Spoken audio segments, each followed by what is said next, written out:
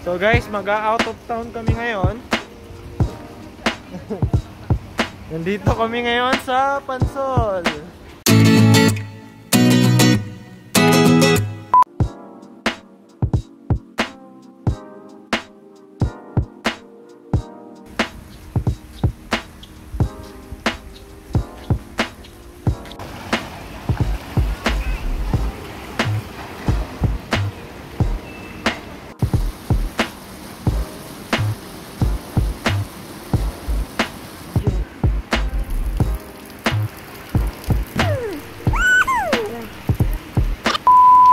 So yun guys, dito kami sa ah, swimming pool dito sa condo sa River Isles Condominium dito sa Singapore.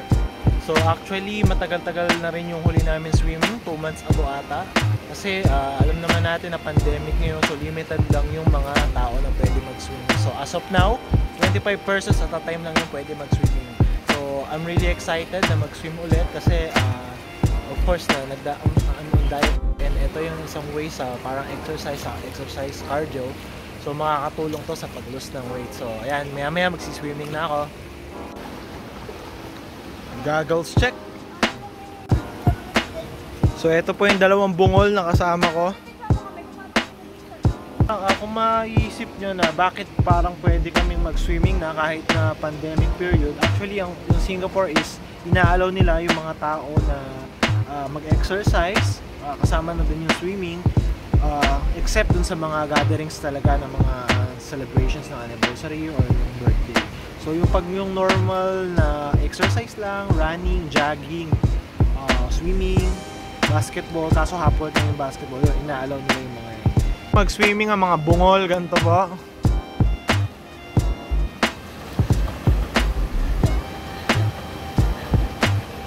Ngolbu, swimming, swimming, ngolbu.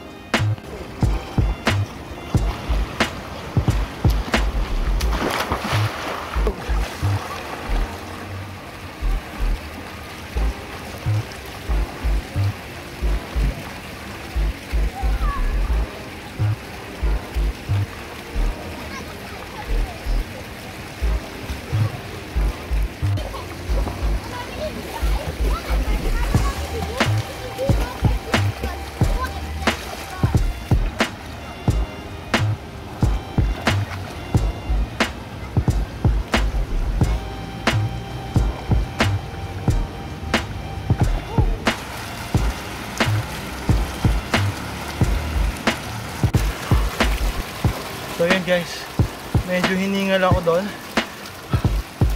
Even though na nagtataba at exercise ako, pero hiningal pa rin ako dito sa swimming. Kasi huling naming swimming ay 2 months ago. So yung yung breaststroke kanina na tinesting ko, tatayin ko ang awkward nung ginawa ko. O, pinapractice ko pa siya kasi yung mga nagsiswimming dito, kadalasan nakakailang lap sila dito sa swimming pool iba mga bata pa. So panay breaststroke lang para tumagal sila para matapos na lap so gusto ko talaga, gusto ko talaga matutunan yun. To kung may mga tips kayo or technique dun sa breaststroke please comment down below para at least next time sundin ko siya and hopefully na makuha ko na siya ng tama. Uh, inabot na kami ng gabi. So eto ilibot ko lang kayo ng saglit. So eto may mga uh, higaan lagay ng mga gamit. So Christmas is in the air already. So makikita nyo mga Christmas lights.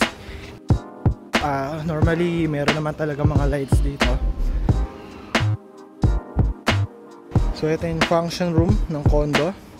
So ito yung mga hydro pool equipment. May bike, bicycle merong treadmill. Kasi alam naman natin na pag nasa tubig tayo mas magaan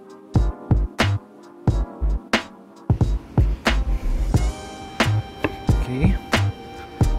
So, ito yung gym. Gym. May gym.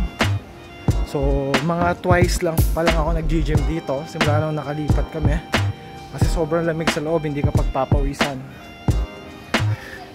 Then, ito yung toilet. Ayan.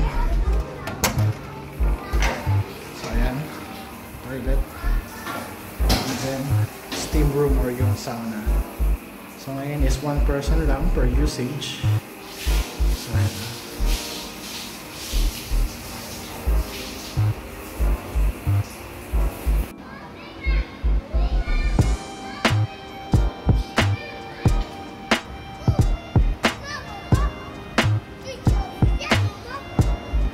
Ayan guys, inabot na kami ng gabi and sobrang sarap talaga mag-swimming din eh. Ah, hindi nga lang namin na ma-maximize yung paggamit nito. Actually, everyday pwede ka naman mag-swimming. Pero yun nga lang is, ah, wala na rin oras sa pag-swimming dahil sa trabaho at sa iba pang mga work. Kadalasan, weekends lang kami nakakapag-swimming. Pero sobrang sarap talaga guys. So, napapatibay nito yung cardio natin and uh, it's a form of exercise also. So, sarap sa pakiramdam. Pero mamaya alam ko, gutom na gutom kami niyan. So, may naka-ready na naman kami pagkain sa taas. Uh, nagluto ng tinola at saka yung uh, oyster sauce, chicken and, um, and pork. So, ayun. Guys, hanggang sa susunod na video, abangan nyo ulit ang aking mga uploads. So, good, good night everyone. Bye-bye.